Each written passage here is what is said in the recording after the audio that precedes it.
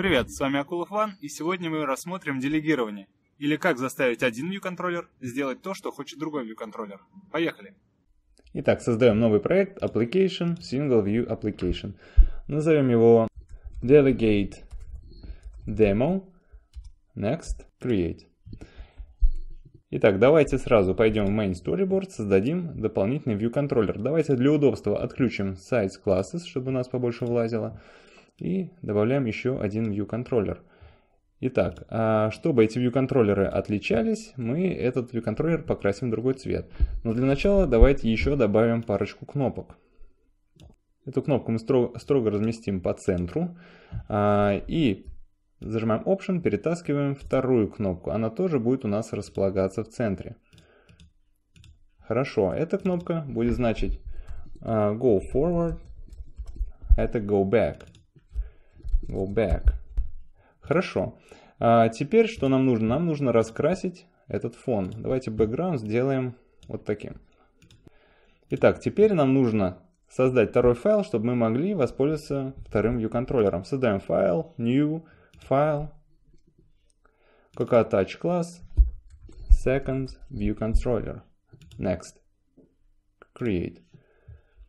Итак, мы с вами создали, осталось в сториборде соединить существующий view controller с этим классом. Second view controller. Зажимаем Option, переходим в view controller. Сначала мы совместим вот эту кнопочку, зажимаем Ctrl, перетаскиваем, Go forward, button.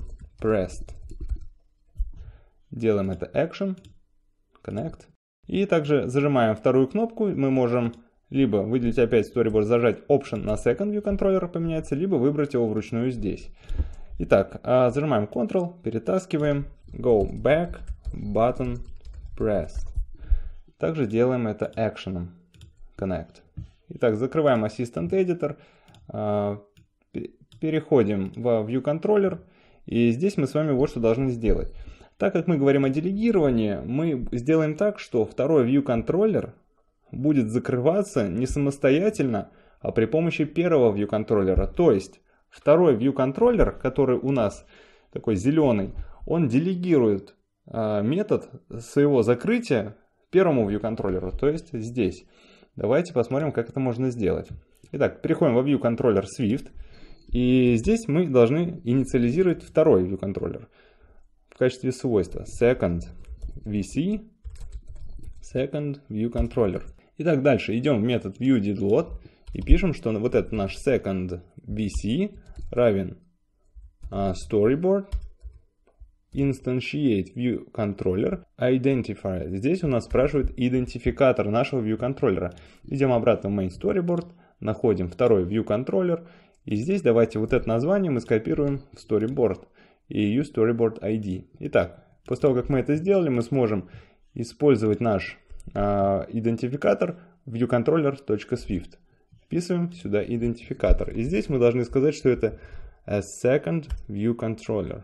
После того, как мы инициализировали второй view controller, что мы с вами должны сделать? Мы должны написать, что second view controller delegate self. Конечно, пока что это не имеет никакого смысла. И у нас здесь будет ошибка. Почему? Потому что мы еще пока с вами ничего не говорили о делегировании. Поэтому он у нас и возмущается. Пока можно закомментировать, но эту строчку мы обязательно будем использовать. Идем в метод IBActionFun go forward button pressed. И здесь немного давайте добавим место и запишем с вами вот что. Add child view. То есть мы добавляем э, второй view поверх нашего э, view. То есть мы говорим о том, что мы добавляем второй view. Какой view? Second VC. Мы с вами добавляем поверх уже нашего view контроллера второй view контроллер. View. То есть view контроллер это контейнер для нашего view, а view это контейнер для того, что содержится уже и что отображается. Поэтому мы должны сказать, что view add subview second VC view. То есть мы говорим о том, что на наш uh, view вот этого view контроллера мы добавляем second VC view. Итак, дальше что мы делаем? Second view controller did move to parent view controller. То есть здесь мы говорим, кто будет являться родителем нашего вот этого second view controller. Мы говорим, что это self, то есть а, вот этот view controller. Теперь, если мы с вами запустим, у нас при нажатии на кнопку будет открываться второй view controller. Итак, мы видим Go Forward, нажимаем, у нас появляется второй view controller. Ну, кнопка пока что не работает. Причем самое интересное, что этот первый view controller, он не распускается, то есть он все равно остается активным. Как мы это можем проверить? Идем в Main Storyboard, а, нажимаем вот на второй фон второго view контроллера и давайте сделаем его немного прозрачным. Эти 0.5. Давайте перезапустим, и вы сами увидите, что кнопка Go Forward, она остается видимой. Нажимаем Go Forward и видим, что есть Go Back кнопка, а под ней Go Forward. Итак, давайте теперь пойдем в Second View Controller. Итак, что мы здесь можем сделать? А, мы хотим, чтобы наш первый View Controller, он мог распускать или отпускать наш Second View Controller. Давайте для этого добавим здесь протокол. А, протокол. Назовем его Second View Controller Delegate. Можно скопировать эту часть добавить слово Delegate. Что мы хотим, чтобы он умел? Мы хотим, чтобы у него была функция Hide Screen. Открываем View Controller. UI View Controller. Итак, мы с вами обозначили, что мы хотим иметь а, такого делегата, который будет иметь этот метод. Затем мы с вами должны указать, что такое свойство delegate есть. Наш delegate, который будет иметь тип second view controller delegate. Теперь мы идем в IB action func, вот сюда, uh, go back button pressed, и здесь мы должны сказать, что delegate hide screen self.